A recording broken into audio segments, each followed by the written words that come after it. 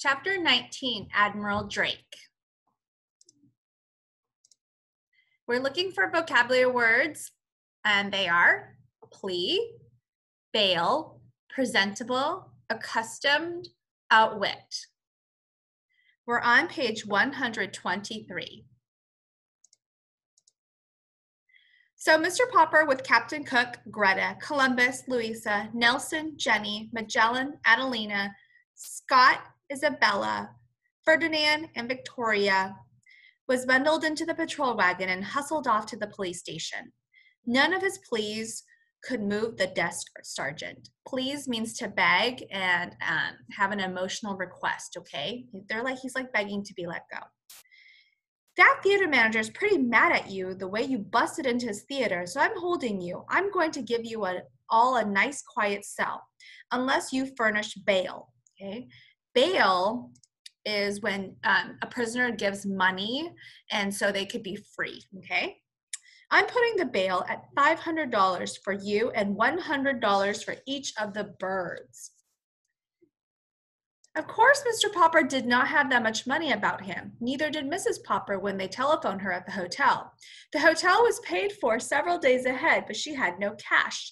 The check for the final week's salary was not due until the end of the week. Indeed, it now looked as if the Poppers would never see that check, since they could not get the penguins out of jail long enough to put on their act at the Royal Theatre. If only they could have gotten in touch with Mr. Greenbaum, Mr. Popper knew that kind man would have gotten them out. But Mr. Greenbaum was somewhere in Hollywood, out on the Pacific coast, and the Poppers had no idea how to reach him. It was very dull for the birds in jail. Wednesday came and there was still no word from Mr. Greenbaum. Thursday, and the birds began to droop. It was soon apparent that the lack of exercise combined with the heat might prove too much for them. There were no more tricks or merry games. Even the younger birds sat all day in dismal silence, and Mr. Popper could not cheer them up. Mr. Popper had a feeling that Mr. Greenbaum would probably turn up by the end of the week to see about renewing the contract, but Friday passed without any news of him. Saturday morning, Mr. Popper got up very early and smoothed his hair. Then he dusted off the penguins as well as he could, for he wanted every to, everything to look as presentable as possible in case Mr. Greenbaum could, um, should appear. Presentable means um, to look um, very clean and neat and tidy. About 10 o'clock, there was a sound of footsteps in the corridor and a jingling of keys, and the door of the cell was opened. You're free, Mr. Popper. There's a friend of yours here. Mr. Popper stepped out into the light with the penguins. You're barely in time, Mr. Greenbaum, he was about to say. Then, as his eyes became accustomed to the light, he looked again. Accustomed means adapt, okay? Adjust his eyes. It was not Mr. Greenbaum who stood there. It was a great bearded man in a splendid uniform. Smiling, he held out his hand to Mr. Popper. Mr. Popper, he said, I am Admiral Drake. Admiral Drake, gasped Mr. Mr. Popper, not back from the South Pole. Yes, said the Admiral. The Drake Antarctic Expedition ship returned yesterday. You should have seen the reception New York gave us. You can read all about it in today's paper. But I read about the trouble you were having over the penguins, and so here I am. I have a long story to tell you. Could we go to the hotel and talk about it? asked Mr. Popper. My wife will be anxious to see us back. Certainly, said the Admiral, and when they were all settled in the Popper, Popper rooms at the hotel, with the penguins clustering round to listen, Admiral Drake began. Naturally, when I knew that I was coming back to America, I often thought about the man who I sent the penguin. It takes us a long time to hear things down there, and I often wondered how you and the bird were getting along. Last night at the mayor's dinner for us, I heard about the wonderful trained penguin act you have been putting on all over the country. This morning I picked up the paper and the first thing I read was that Mr. Popper and his 12 penguins were still being held in jail. But 12 penguins, Mr. Popper? How on earth? Then Mr. Popper told how Greta had arrived to keep Captain Cook from being lonely, and how the little penguins had grown, and how the clever little band had saved the day for the Poppers when things looked bad.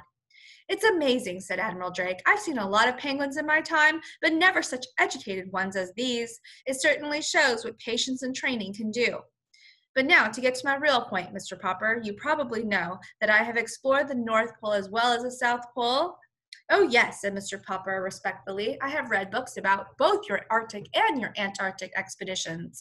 Well, then, said the Admiral, maybe you know why we explorers prefer the South Pole? Could it be on account of the penguins, sir? asked Janie, who had been listening very hard. Admiral Drake patted her head. Yes, my dear, those long polar nights get pretty dull when you have no pets to play with. Of course, there are polar bears up there, but you can't play with them. Nobody knows why there are no penguins at the North Pole. For a long time, the United States government has been wanting me to lead an expedition up there for the purpose of establishing a breed of penguins. I must come to the point, Mr. Popper. You've had such remarkable success with these birds of yours. Why not let me take them to the North Pole and start a race of penguins there? Just then, Mr. Greenbaum and another gentleman were announced. They shook hands all around and were introduced to the Admiral.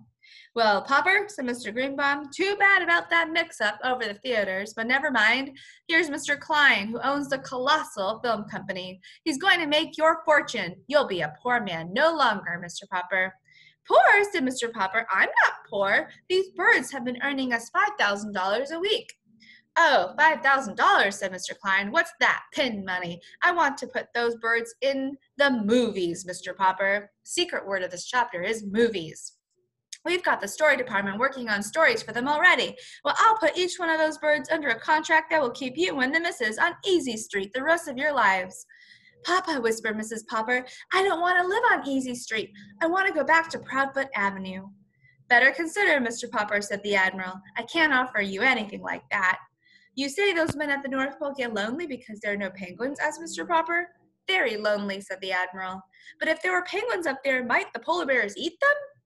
Oh, ordinary penguins, yes, said the um, Admiral judiciously, but not such highly trained birds as yours, Mr. Popper. They could outwit any polar bear, I guess. Outwit means to beat through cleverness, outsmart. It was now Mr. Klein's turn to speak. In every moving picture house in America, little children would have the pleasure of seeing stories acted by the Popper performing penguins, he said. Of course, if we succeed in establishing the breed at the North Pole, said the Admiral, the name have to be changed a little. I imagine that hundreds of years from now, scientists would be calling them Popper Arctic penguins. Mr. Popper was silent for a moment. Gentlemen, he said, I want to thank you both. I'll give you my decision tomorrow.